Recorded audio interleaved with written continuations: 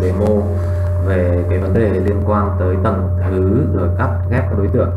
Đó bài chữ thì coi như tạm thời như thế là đã demo xong. Các bạn à, chỉ có vấn đề là thực hành lại làm sao cho nó trơn. Thì bây giờ tiếp theo sẽ đến cái logo nhà xuất bản giáo dục này. Logo nhà xuất bản giáo dục thì về gốc của nó thì nó là xuất phát điểm của nó là trên một cái hình tròn. Cho nên trước hết là chúng ta vẽ một hình tròn đã bằng cách là chọn công cụ ellipse và uh, nhấn shift trong lúc vẽ để nó tròn à, tiếp theo thì à, chúng ta sẽ sử dụng cái công cụ scale này đi và chúng ta thu nó lại còn độ khoảng à, 80 phần trăm đi. Sau đó nhấn copy. Vậy là chúng ta sẽ có hai cái hình như thế này. À, chọn cả hai. Sau đó thì chúng ta sử dụng Pathfinder chúng ta sử dụng Export hoặc là Ministrun đều được cả. Thì chúng ta sẽ có một cái hình bánh khăn như thế này. Đó. Bây giờ tiếp theo thì ờ, chúng ta sẽ vẽ ra một cái hình chữ nhật.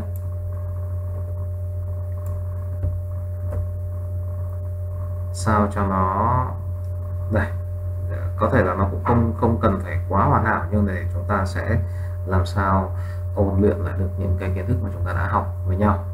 À, vẽ một hình sau đó thì chọn cả hai và chúng ta sẽ gióng hàng làm sao cho nó cần cả hai chiều. Đó sau khi xong rồi thì chúng ta sẽ tiến hành lật ví dụ như là chúng ta chọn reflect này nhấn an và chúng ta nhấn vào cái cạnh bên này chẳng hạn. Chúng ta lật nó sang thành như thế này sang bên trái. Và copy vậy tôi sẽ có một hình. À, vẫn tiếp tục sử dụng lệnh này thì nhấn an một lần nữa. Chúng ta sẽ lấy cạnh bên này chọn hình ở giữa. Lại chọn công cụ reflect nhấn an và kích vào cái cạnh này để lần lần này là sang bên phải chúng ta cũng copy. Như vậy là chúng ta có ba cái thanh hình chữ nhật thế này. Đầu tiên là tôi cắt đứt nó ra bằng cách là sử dụng minus from tôi sẽ có cái như thế này. Cái này thì chúng ta thu dần thu dần vào cho tới khi nào mà nó đạt được tới kích thước cái vị trí mà chúng ta cần. Thế còn cái đối tượng này thì chúng ta ôn lại, đó là gì này? Dự an, thu một đầu thì nó sẽ thu đều. Đến đây thì việc còn lại của chúng ta chỉ đơn giản là hàn lại. Vậy thì chúng ta đã có được cái logo những số bản giáo dục đấy là cái đầu tiên. Đó. Tiếp nữa thì chúng ta sẽ làm cái ví dụ thứ hai.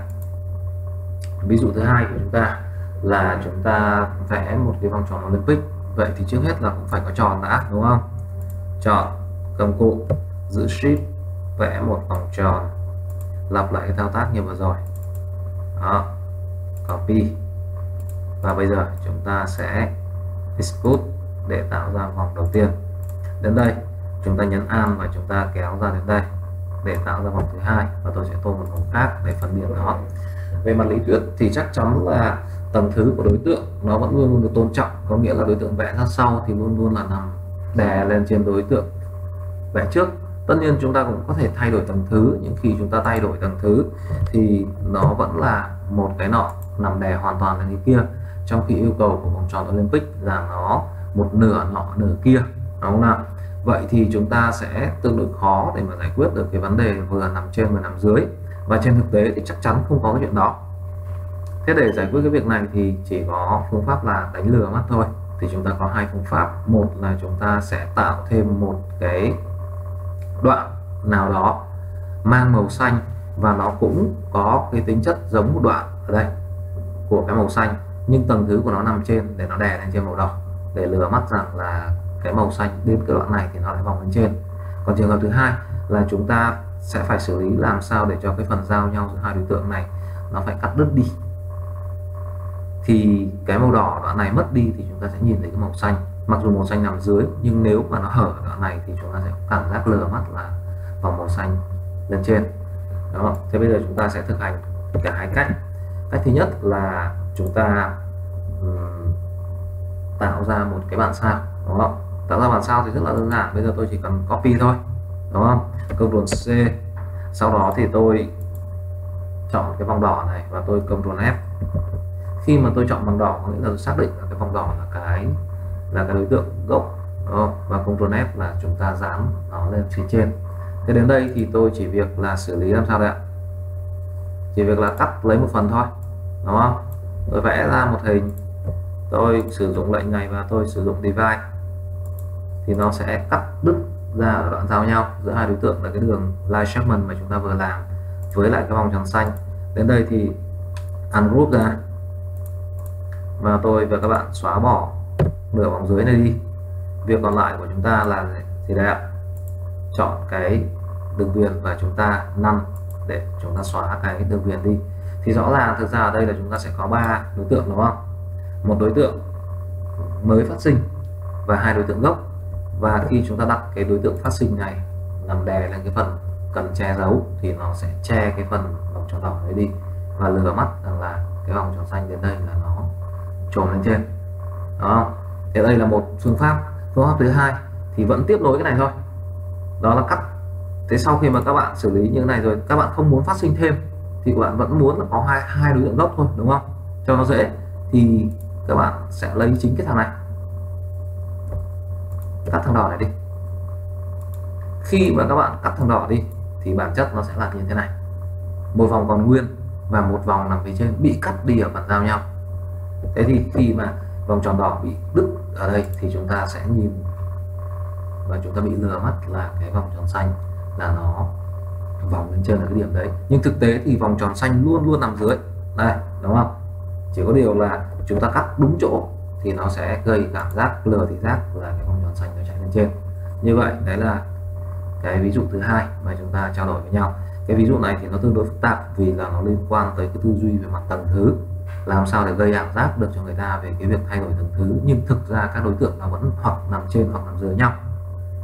Thế còn ví dụ yêu cầu thứ ba của tôi là gì?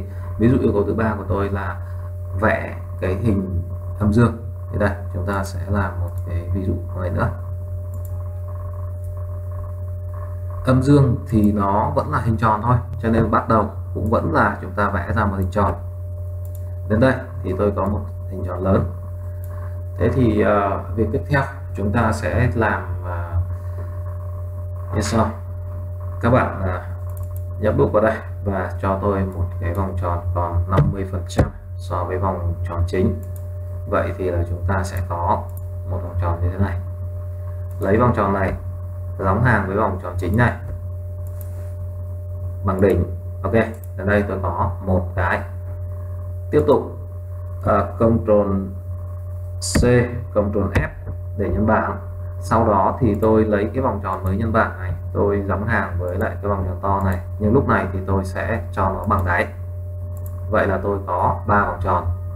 Tiếp tục nữa thì từng vòng tròn này tôi lại sử dụng lệnh biến nó thành 50 phần trăm nữa copy. Thằng này cũng làm tương tự như vậy. 50 phần trăm copy. Như vậy là đến đây tôi có 5 vòng tròn. Thực ra thì nó sẽ có nhiều phương cách làm khác nhau để mà tạo ra được cái vòng uh, âm dương này. Tuy nhiên bất kể là các bạn làm phương pháp nào thì cái bước chuẩn bị gồm 5 vòng tròn này nó cũng sẽ giống nhau đến đây thì à, chúng ta sẽ xử lý như sau. Um, tôi sẽ um, sử dụng các lệnh cắt hàn như thế này. Các bạn quan sát có lẽ là chúng ta nên tô màu cho nó dễ nhìn đó. Ví dụ như là vòng tròn lớn này tôi sẽ cho nó màu đỏ này.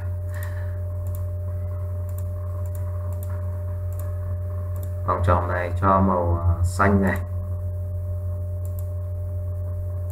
Vòng tròn này cho màu xanh này. Đấy, ví dụ như thế thế bây giờ chúng ta sẽ xử lý như sau. Các bạn quan sát. Tôi vẽ một đường line segment thẳng bằng cách là chọn công cụ giữ shift kéo thẳng. Thì tôi sẽ có một line segment như thế này. Sau đó thì tôi giữ shift tôi chọn tiếp cái vòng tròn đỏ to nhất. Kích thêm một lần nữa để khóa cái vòng tròn đỏ to lại và tôi giống hàng ở giữa. Đến đây thì chúng ta sẽ sử dụng lệnh divide để tôi chia đôi cái vòng tròn đỏ này ra tất nhiên là lúc này nó bị kéo lên trên tại vì cái line segment vừa nãy của chúng ta là nó nằm trên cùng. Khi mà tác động qua lại giữa các đối tượng mà nằm trên thì nó sẽ kéo cái đối tượng nằm dưới lên theo. Đến đây chúng ta sử dụng object ungroup để chúng ta tách ra. Như vậy là các bạn nhìn đây nhé chúng ta có hai nửa trong vòng đúng không nào? Đây Ctrl Z undo lại. Và bây giờ tôi lại tiếp tục uh, Ctrl Shift mở ngoặc vuông để tôi giảm nó về cái vị trí ta nằm dưới cùng. Bây giờ chúng ta sẽ thực hiện lần lượt những cái thao tác mà um, nó nó nó tiếp tục này. Bây giờ tôi chọn cái hình uh, tròn nhỏ phía trên. Ctrl C Ctrl F. Để làm gì? Để tôi tạo ra một cái bản sao. Và khi có bản sao này rồi thì tôi sẽ dùng nó như thế nào? Tôi sẽ dùng nó để tôi cắt đây lần lượt các bạn quan sát. Chọn nửa vòng tròn ở bên phải. Sử dụng lệnh gì đây ạ? Minus front để cắt đi. Bây giờ nếu mà tôi nhấc ra thì các bạn sẽ nhìn thấy cái đoạn này nó sẽ bị cắt mất một nửa. Đó. Tiếp tục thực hiện như thế với lại hình ở bên dưới. Cũng chọn Ctrl C, Ctrl F. Vậy là tôi có một bản sao. Dùng bản sao này, lúc này tôi sẽ cắt hình gì đây? Cắt hình bên trái. Đó. Đến đây, việc còn lại của chúng ta chỉ là hàm. Lấy hình này, hàm với hình này, một cái. Lấy hình này, hàm với hình này, hai cái. Vậy là tôi có gì đây hai nữa và cuối cùng thì giả cái thằng này về. Cái thứ tự đúng của nó là control Shift. Gì đây? Mở khoảng vuông. Và việc còn lại là gì? Tô hai màu nghịch nhau đúng không? Trong xanh thì có đỏ, trong đỏ thì có xanh và cuối cùng thì các bạn chọn và các bạn thì đây, group nó lại. Như vậy là các bạn đã có được cái hình âm dương. Và như thế là các bạn thấy trong xuyên suốt cái bài tập thực hành của cái buổi hôm nay, thì chúng ta cũng không có bất cứ một cái lệnh nào hay là một cái kiến thức gì mới, quá mới ở đây. Nó chỉ bao gồm các kiến thức là tạo ra hình cơ bản này, đúng không? Nhân bản này, xoay lật này à, rồi thay đổi tầm thứ và cuối cùng là cắt và hàn và tất cả những việc cắt hàn đó thì chúng ta hoàn toàn có thể sử dụng những cái lệnh nằm ở trong này. Hàn thì đây đúng không? Cắt thì ở đây hoặc là exclude um, hoặc cũng có thể đây nếu mà các bạn muốn thì chúng ta cũng có thể là xem xét lại ở góc độ khác ví dụ như intercept chẳng hạn. Quay trở lại intercept thì các bạn cũng có thể là sử dụng cái lệnh như thế này. Ví dụ nhắc thằng này ra. Bây giờ chúng ta xử lý intercept nhé. Một hình này. Um, tiếp tục là scale này. Bây giờ chúng ta sẽ để là 80 phần trăm như vừa nãy này copy này. Sau khi có hai cái này thì chúng ta sẽ export để chúng ta đục nó ra. Bây giờ nhấn A kéo như thế này và tô khác màu đi. Đúng không? Thì đến đây thì các bạn sẽ có cái hai cái hình như thế này. Bây giờ tôi lại làm lại là ở góc độ gì đây? Sử dụng exclude đi. À, và sử dụng intersect đi. Thì chúng ta sẽ tạo ra cái gì? Chúng ta sẽ tạo ra những cái này. Nhưng mà trước khi mà làm như thế này thì chúng ta cũng thao tác cho tôi bằng cách là copy để giữ lại hai cái vòng gốc đã. Sau đó thì chúng ta mới sử dụng cái lệnh gì intersect thì nó sẽ chỉ còn lại hai cái mảnh giao nhau này thôi. Đấy và sử dụng lệnh dưới đây option e- edit đấy, thay vì best front thì tôi sử dụng là best in back là dán ra sau hai cái này. Đấy, và bây giờ, đây là một mảnh đây là một mảnh đúng không? Tôi chỉ cần là xóa đi một trong hai mảnh này thôi. Thì các bạn chỉ cần là vào object, các bạn ungroup nó ra và các bạn vứt một cái đối tượng nào đó đi. Đó. Và giữ lại một cái thì cái này sẽ được tô theo gì đây? Tô theo đối tượng mà nằm dưới. Thì nó sẽ giả lập cái sự vòng lên trên. Thì như vậy là qua cái demo nho nhỏ này thì các bạn sẽ thấy rằng có rất nhiều phương pháp khác nhau để mà đi đến cùng một cái kết quả cuối cùng. Thì như thế là chúng ta sẽ sẽ ừ, có thể là rất là linh hoạt ở trong cái phương pháp làm. Có thể bây giờ các bạn sẽ làm giống như tôi vừa làm à, để mà thực hiện được đã. Sau đó thì có thể là lật đi lật lại à, thay vì sử dụng lệnh nọ lệnh kia ở trong này theo đúng như là cái trình tự mà tôi đề cập chẳng hạn các bạn có thể thử dùng các cái lệnh khác. Đấy để các bạn xử lý nó. Thế thế thì với cái cái cái tư duy mà các bạn uh, suy nghĩ một cách à, tổ đa chiều hơn đấy phong phú hơn thì khi mà các bạn gặp một cái yêu cầu của khách hàng thì các bạn cũng có thể là sẽ tìm ra được nhiều phương pháp xử lý các đối tượng hơn là khi mà chúng ta chỉ làm duy nhất một cái hướng dẫn à thầy hướng dẫn thế này em làm đúng như thế. Thực ra thì có cái cái cái thiết kế đồ họa ấy, thì nó rất là hay ở cái đoạn là ừ, nó không có một cái quy tắc duy nhất cho cái kết quả. Đấy mà người ta chỉ có người ta chỉ quan tâm là gì? À, tôi đưa ra đề bài và anh đưa ra được cho tôi một cái mà giống như tôi mong muốn. Còn anh làm cách nào thì tôi không quan tâm. Nó rất khác so với lập trình. Lập trình thì các bạn chỉ có thể là tuân thủ theo gần như là các bạn sẽ chỉ tuân thủ theo một quy tắc nhất định thôi. Đấy làm khác đi một dấu phẩy làm khác đi một dấu chấm hoặc là làm khác đi một dấu cách có thể là cả công thức đó nó sẽ không chạy được và cái đoạn lập trình của bạn nó đi. Đấy cho đến khi nào các bạn tuân thủ theo đúng cái cái um, quy tắc thôi. Thế nhưng đồ họa thì không phải như thế. Đồ họa thì các bạn chỉ quan tâm tới làm thế nào nhanh nhất và dễ nhất ra được cái kết quả mà khách hàng nhìn giống như mẫu mà người ta yêu cầu thế thì thì các bạn nên lật đi lật lại các vấn đề theo các phương pháp khác nhau, theo các lệnh khác nhau hoặc các bước thực hiện khác nhau một tí để cuối cùng đi được đến một cái kết quả mà giống như là chúng ta mong muốn. Thế nhưng mà như thế thì nó sẽ cho chúng ta rất nhiều cái phương pháp tiếp cận và đồng thời nó làm cho cái suy nghĩ của chúng ta nó cũng trở nên linh hoạt hơn trong cái quá trình làm việc ấy. Thì các bạn cố gắng là lặp đi lặp lại vấn đề và thực hiện nó nhiều cách.